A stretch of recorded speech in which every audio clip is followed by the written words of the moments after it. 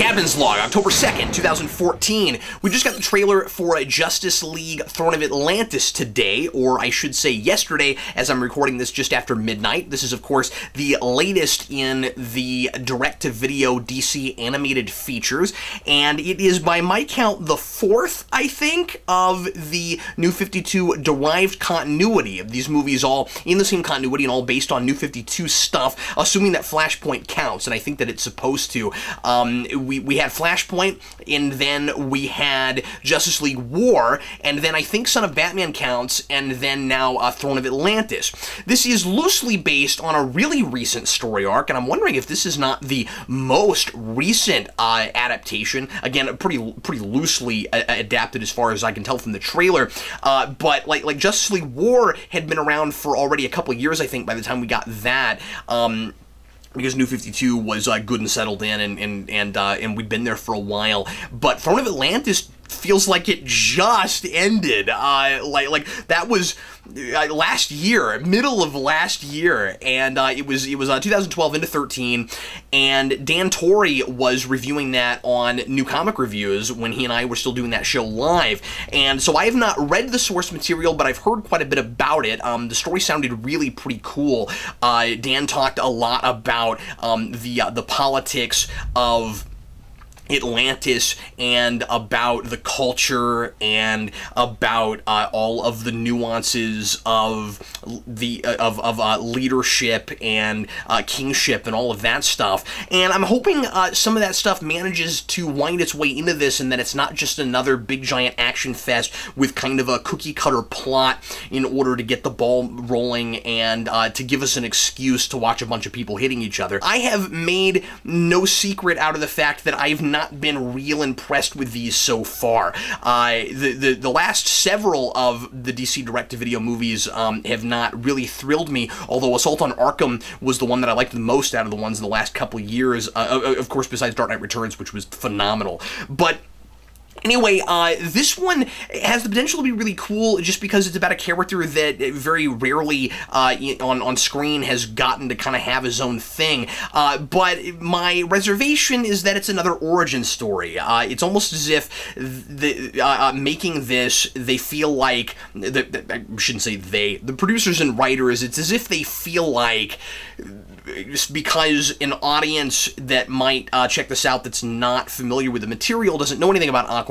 So even though we're going to do this big war story between Earth and Atlantis, we still have to make Aquaman kind of a fish out of water, so to speak, and uh, have him be our kind of uh, eyes in character who has no idea what's going on, and let him develop and, and, and blossom his superherohood um, throughout the movie. And I'm not saying that that's always a bad place to go. I'm saying that we've been there and done that so many times now. It's it's kind of a formula that I have been excited to get away from. I just feel like uh, the story adapted more the way it was, or at least what I know about it, sounds so much more interesting than a character who eh, kind of thinks he's human, or at least this is what I can get from the trailer. And of course, I, as I always say, um, I, I, can't I can't derive every. I mean, I, I can't um, uh, in, infer everything from the trailer, but the trailer's making it pretty clear that Arthur Curry has no idea that he's from Atlantis, and I just don't think that that's as interesting as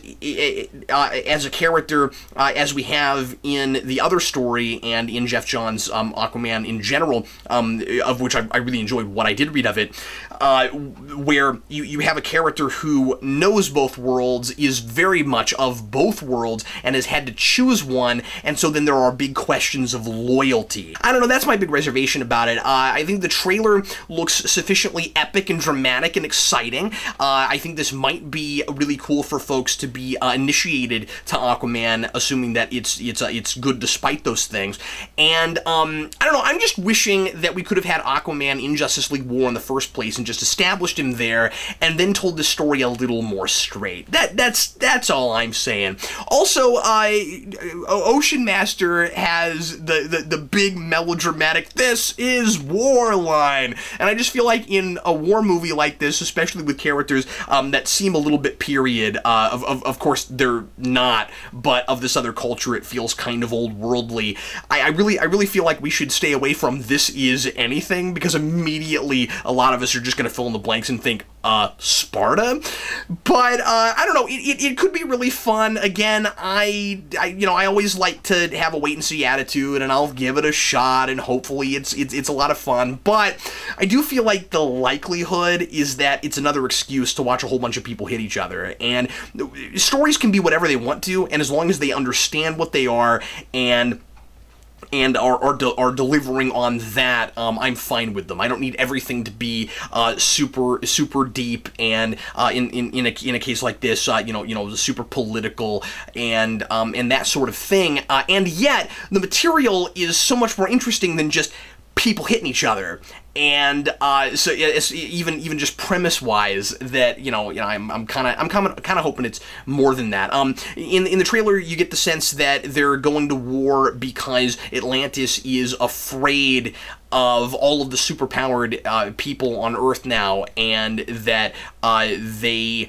that uh, they're misconstruing that as they're taking over and they're coming after us next. And there there could be some cool things there, especially because uh, Aquaman certainly straddles that fence where he's a superpowered person living on Earth, but he is originally from Atlantis. So what does he do? So yeah, I mean there, there could there could be some stuff there. This this being another war movie, it is kind of interesting that uh, you know, we have Justice League War, one more in the middle, and then now another big war thing. Uh, I wonder if it's going to be like that every other time. Where like the next time it's like a little character piece for um for, for like one other character, and then you, you know we do we do another Superman movie, or we do another Batman movie, and then it's just like something else. War.